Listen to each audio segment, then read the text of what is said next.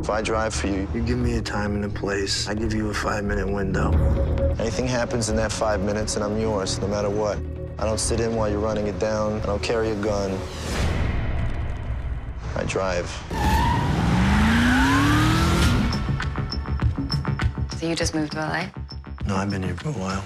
What do you do? I drive for movies. Isn't that dangerous? It's only part-time.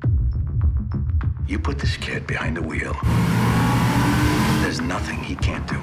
Kid, I want you to meet Mr. Bernie Rose. My hands are a little dirty. So am I. My husband's coming home. Where is he? He's in prison.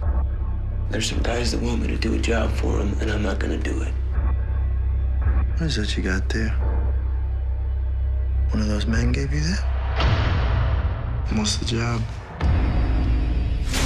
When you get your money, his debt's paid.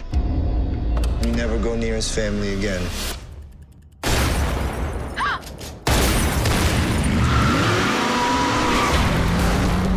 Did you have any idea there'd be a second car?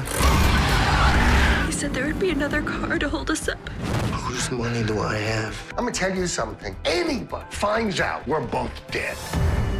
That's why this driver's got to go, Bernie. He's got to go.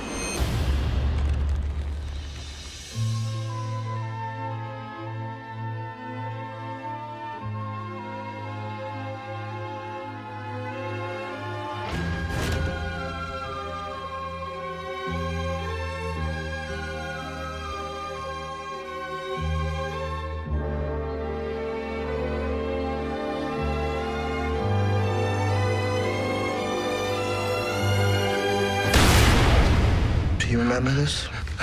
No. Any dreams you have or plans for your future, I think you're gonna have to put that on hold. For the rest of your life, you're gonna be looking over your shoulder.